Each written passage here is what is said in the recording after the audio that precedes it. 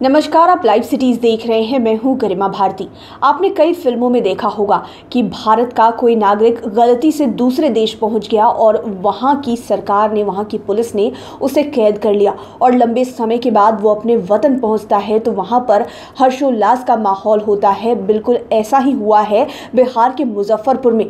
बांग्लादेश की एक जेल में मुजफ्फरपुर के एक बुज़ुर्ग पाँच वर्षों से बंद थे।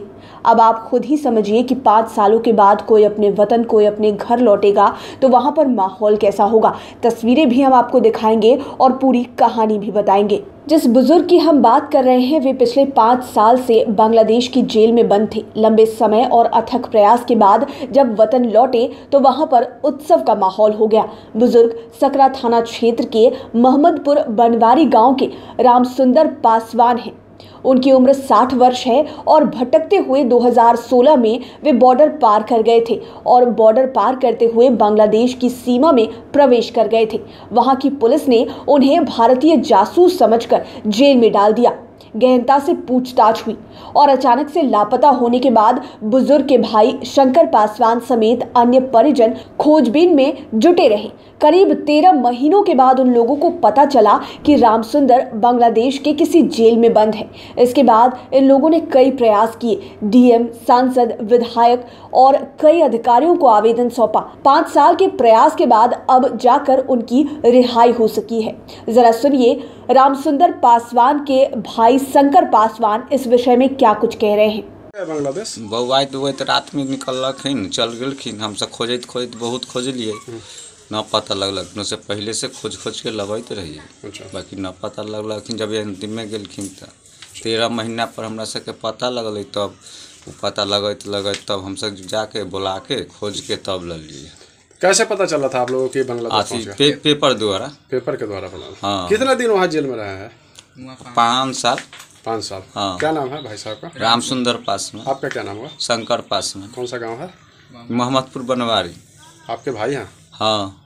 तो आपने उनके भाई की बातें सुनी, उन्होंने बताया है कि किस तरह से तेरह महीनों के बाद पता चला कि उनके भाई रामसुंदर पासवान बांग्लादेश के किसी जेल में बंद है और उन्होंने कई सारे प्रयास किए। लेकिन पाँच सालों तक उस जेल में रामसुंदर पासवान का अनुभव कैसा रहा? देश ना लौटने का डर और उस जगह फंस जाने का डर उन्हें कैसे सता रहा था? घर वालों की याद आ रही थी या नहीं आ रही थी? इन सभी बातों को आप खुद सुनिए। रामसुंदर पासवान बता रहे हैं। घुमत घुमत। वहाँ कहाँ जेल में रखलक रह। खाना पीना दैत रहे? चावल चावल कथी खियाबैत रहे? चावल। चावल। मारलक उलक ना? ना